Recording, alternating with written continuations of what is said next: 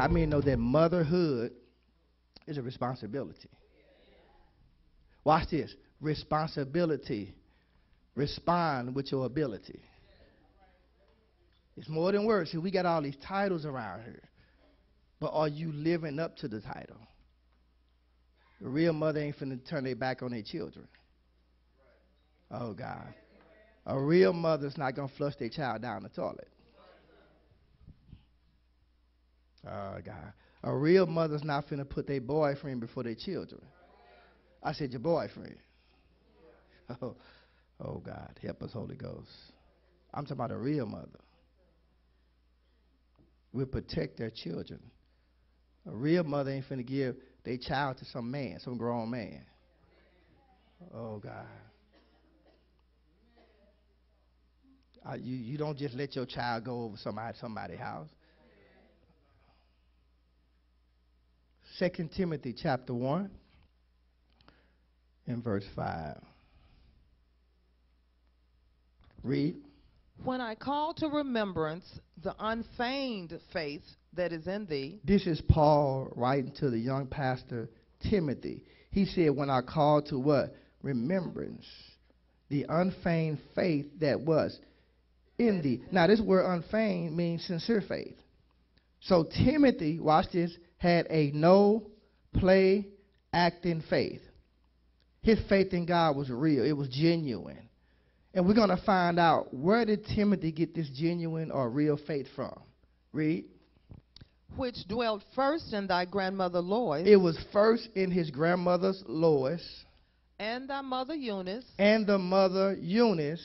And I am persuaded that it's in thee also. First point mothers, what are you passing down to your children? Watch this. You cannot give your children something that you don't have. So if you have a play acting faith, you know what you're going to give your children? A play acting faith. If your faith in God is not real or genuine, then how can you give it to your children? You can't. Y'all quiet. I know why you quiet. The Bible says that this faith that Timothy has was first in his grandmother and in his mother. The Bible don't even mention the fathers. I wonder why. Y'all quiet. Because this is a fatherless generation. Where all the men at? They're either gay, locked up, a bum. Y'all talk back to me. Or deadbeat. Now, that ain't all men, because we do have some good men, but it's few and far between. And one of the reasons why children are so messed up, so wounded, so scarred, so angry is because they have not had a father figure in their lives. So we have to commend mothers on today because you all have done a great job thus far. I'm serious. This is a fatherless generation. And, it, and our children have been affected by the fact that they have not had a man figure or a male figure in their lives. So we have to commend the mothers for holding it down. Come on, let's give our mothers another round of applause. I'm sorry. So the faith that was in Timothy, Timothy was passed down from his grandmother and his mother unto him. So that's the first point, mothers. What are you passing down to your children? Do they see a hypocrite? They see you saying one thing, but doing something different. Speaking in tongue one minute and cursing the other. Do they see a real, genuine faith in the things that pertain to God? Ask yourself that. What am I modeling before my children? Y'all talk back to me. Do they hear me on the phone gossiping? Oh, God, help me, Holy Ghost. Watch this. A mother that fears the Lord will have a major impact on the lives of the children. When your children see that you have a reverential fear of God, they see you respect God, they see you respect the things of God, then this goes right into their lives. You pass this down to them. My God. As a mother, you set the course for your children's life. Let me say it again. As a mother, you set the course for your children's life. Watch this. Children do what they see. I'm telling you, children do what they. Are you clubbing?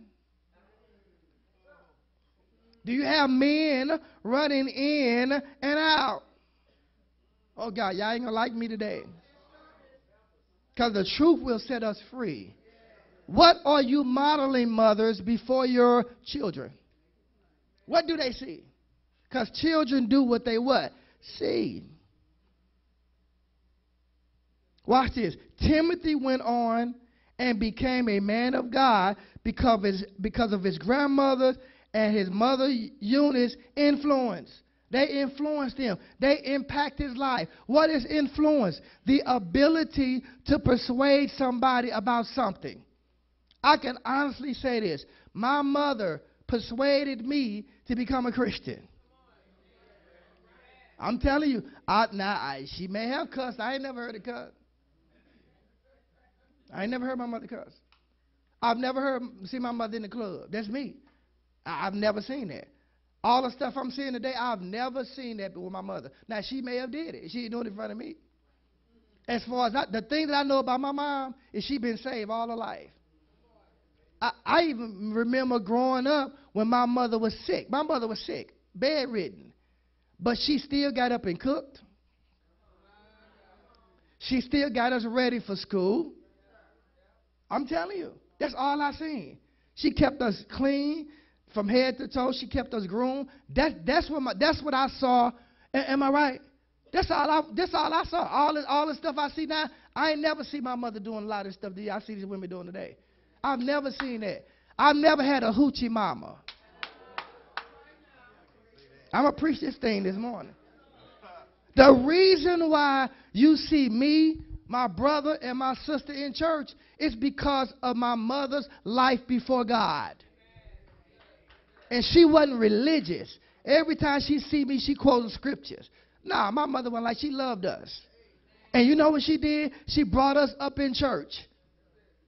So when I got saved, watch this, didn't nobody tell me to fast. When I got saved, nobody had to tell me to tithe. I already, I was, I was taught that as a child. We gonna, I'm telling I'm talking about being an example. I'm talking about being a model before your children. Not always quoting scripture and condemning them and telling them what they're doing wrong. And you shouldn't be doing this. Pray. Stand in the gap for them. Quoting all them scriptures. That's why they don't want to be around you. Because you, you really can't love them. You quoting all these. Now, live the scripture. The Bible says we are living epistles read of men. What good is it that you're talking and you're not living it? Why don't you live it and stop talking it? Oh, God, help me, Holy Ghost. The power, the influence, and that's what influence means power, of a God fearing mother. Come on, 2 Timothy chapter 3. Verses uh, 14 through 15. Read. But continue thou in the things which thou hast learned and has been assured of. This is Paul writing to the young pastor Timothy again. He said, Continue thou or be faithful in the things which thou hast learned. So it, it, that means if Timothy learned something, somebody had to teach him. What are you teaching your children? Wow. How your children, how's your child, children or child in your house and ain't doing nothing? Playing video games. Room a mess. Ain't doing it, failing in school. Oh, y'all talk back to me. Got, got some boy or girl in their bedroom. Hang around with gay folk. I'm talking about your little kids. So, so Timothy, mother and grandmother taught him something. He, look what Paul said. But continue thou in the things which thou hast learned.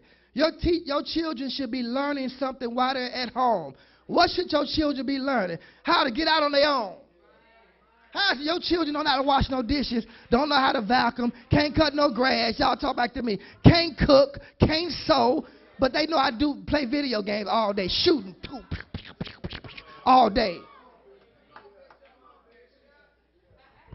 Y'all quiet.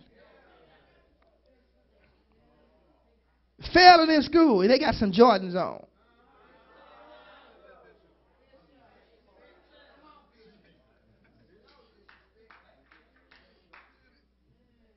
Don't do nothing you say and clean from head to toe. Belly full. Y'all talk back to me. And they eat, they don't eat what you put before them. They, they eat what you what they tell you they want. Who, who's the mother? Y'all talk back to me. Who's the parent? Have some three-year-old child to run in your house. Oh God. Then you you big baller here when you come here. Sit down. We don't want to hear nothing you got to say. Shut up. You try to tell grown folks something, and you can't d- discipline these kids at home. Oh God, y'all ain't gonna like me today. Read. Knowing of whom thou hast learned them. Knowing of whom thou hast learned them. Verse 15. And that from a child. Watch this. From a child. Thou hast known the Holy Scriptures. My God.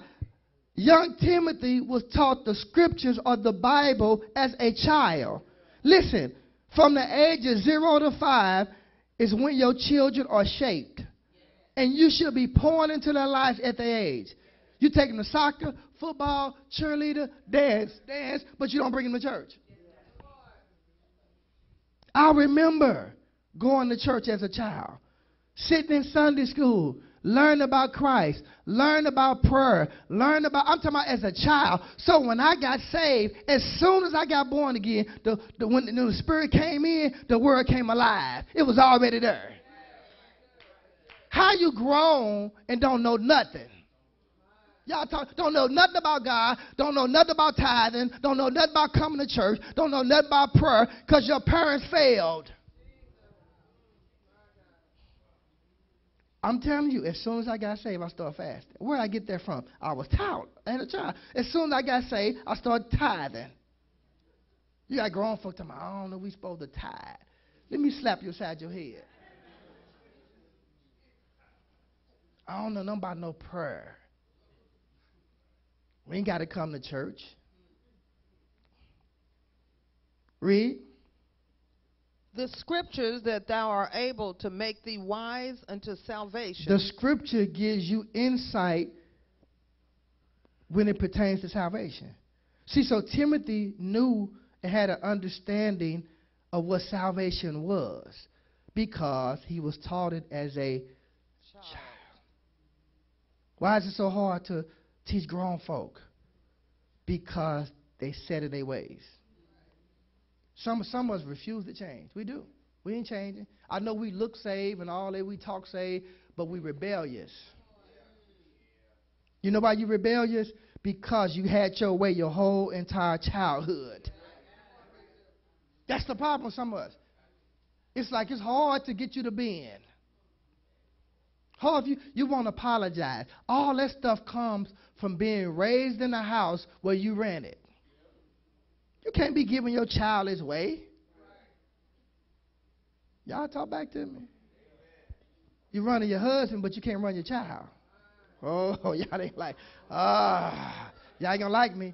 You treat your husband, you treat your husband like he your son, but you treat your son like he your husband. Oh, y'all ain't gonna like me today. You disrespect your husband, but you respect your son. Ah, see, y'all, See, that's why people have a problem coming here.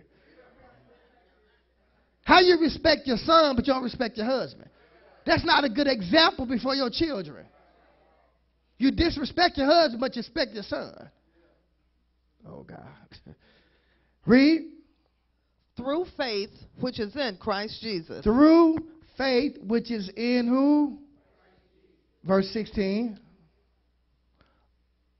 all scriptures is given by what?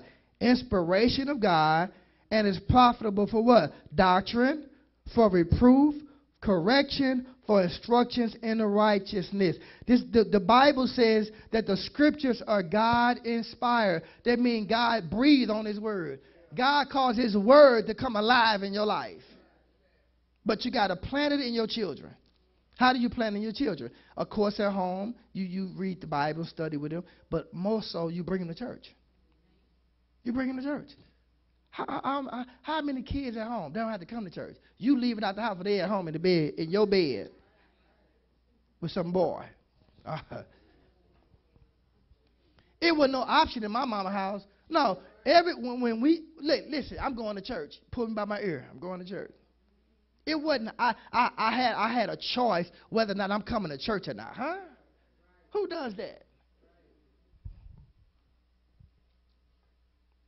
All right, let's go to the next scripture. Exodus chapter 2, verse 1 through 10. This morning we're talking from the subject, the influence of a God fearing mother, a mother that reverence and respects God, a mother that has a fear of God, reverential fear of God. Read. And there went a man of the house of Levi and took to a wife a daughter of Levi. Uh huh. And the woman conceived. The woman got pregnant. Now notice he got his wife pregnant, not his girlfriend. Reason why we have all these issues with this generation is because a lot of these children were born out of wedlock. And you don't have to say nothing. Most of these kids don't have their fathers in their lives. And most of the mothers that they, had babies by these men, they didn't marry them. I did the same thing. That, that affects a child.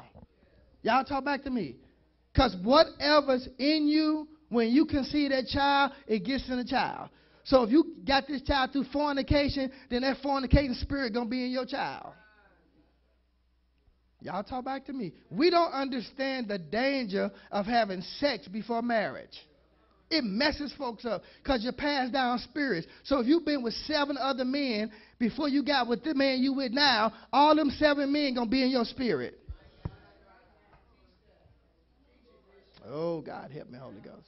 No wonder folk nuts.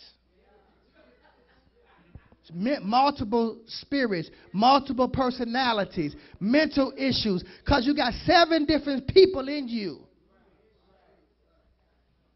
Y'all, y'all don't understand that. When you have sex with somebody, whatever's in that person's bloodline gets in your bloodline and you pass it to your children.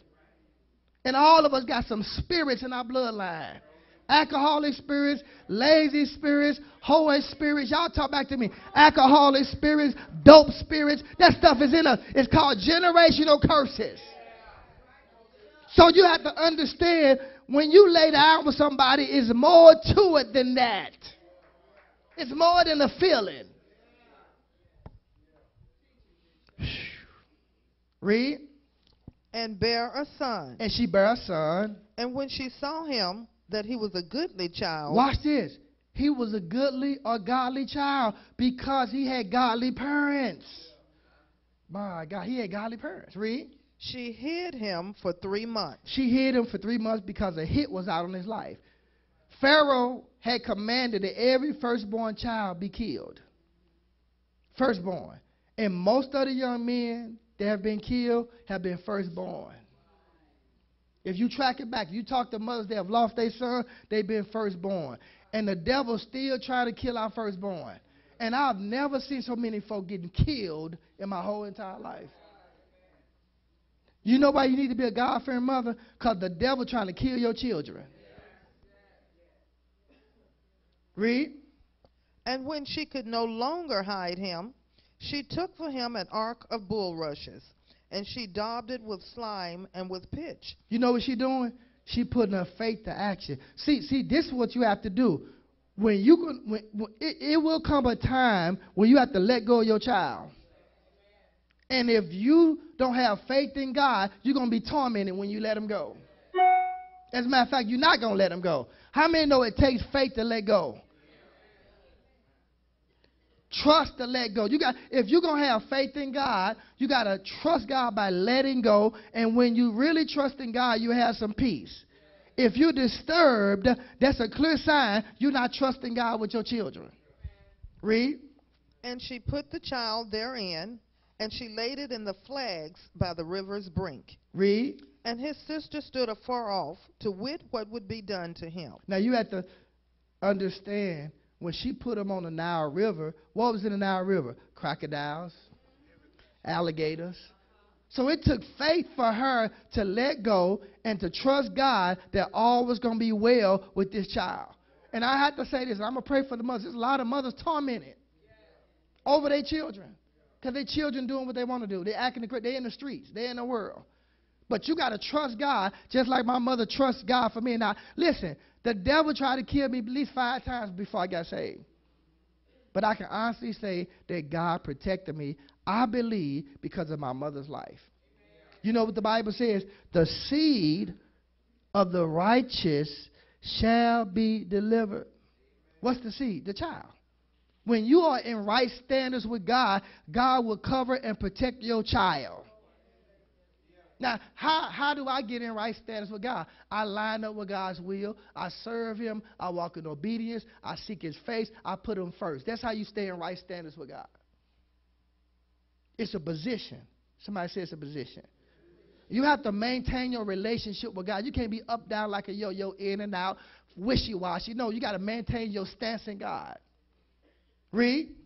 And the daughter of Pharaoh came down to wash herself at the river. Read. And her maidens walked along by the river's side. Uh huh. And when she saw the ark among the flags, she sent her maid to fetch it. And when she had opened it, she saw the child. She saw the child. This is Pharaoh's daughter. She was bathing. How many know that God is very strategic? God knows what he's doing. God knows the end result. The Bible says all things work together for who? Good. For who? Them that what? Love God. Them that are what? Called according to his what? Purpose. I don't care how dim and dark stuff look now. If you stay in line with God, oh God, if you keep loving God, he'll make sure that thing work together for your good. You know what the devil trying to do? Get you out the will of God. Read. And behold, And behold, when you hear the word behold, that means that's an announcement that something miraculous or supernatural is getting ready to happen. Read. The baby wept. The baby what? Cried. Uh-huh. And she had compassion on the b- Who was she? Pharaoh's daughter, a heathen. Read. And she said, This is one of the Hebrews' children. Uh-huh. Then said his sister to Pharaoh's daughter, Send who? Who sister? Look at what God did. The mother let go, and the sister got him on the other side.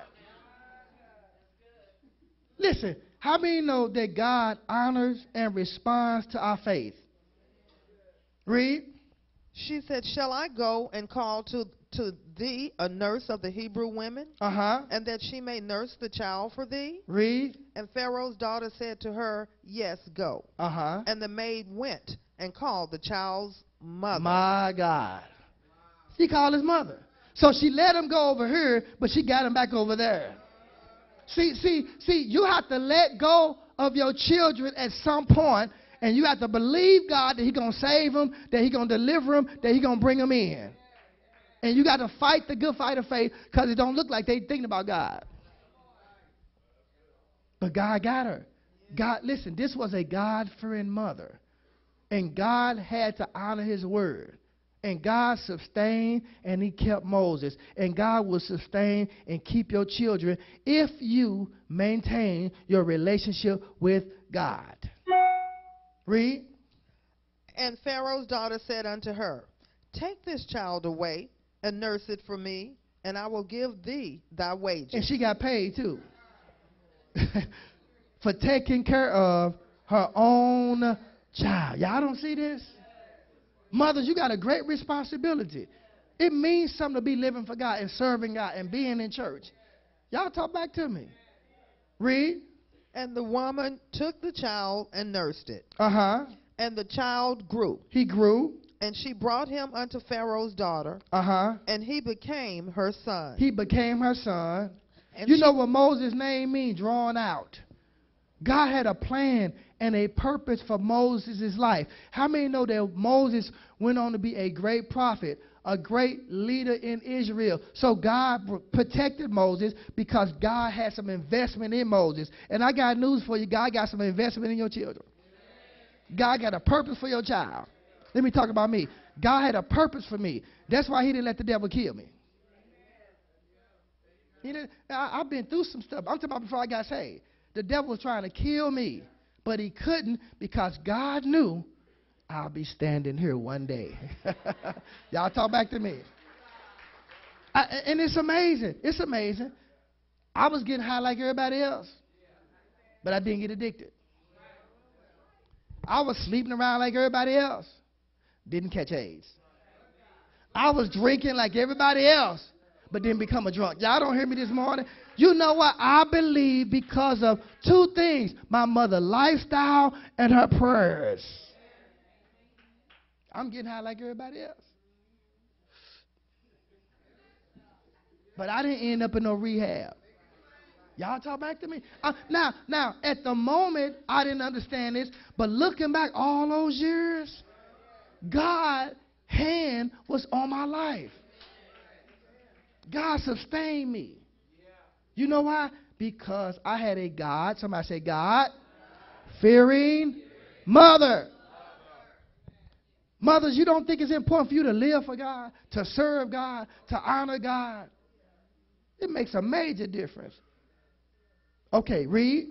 And she called his name Moses. She called his name Moses, who was being drawn out And she said, Because I drew him out of the water. because I drew him out of the water. This word influence, it means when you when you can conf, uh, confine someone to something.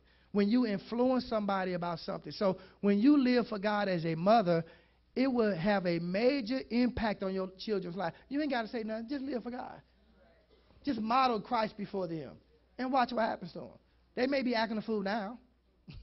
it may seem like they ain't studying God now, We invite you to join No More Crumbs Partnership. Together we can impact the world, accomplishing amazing things for the kingdom of God.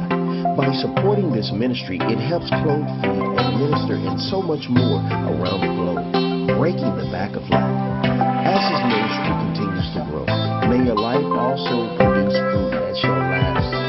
As a No More Crumbs partner, we will lead around the globe creating. Because your days of having crumbs are over. Thank you for watching today's broadcast.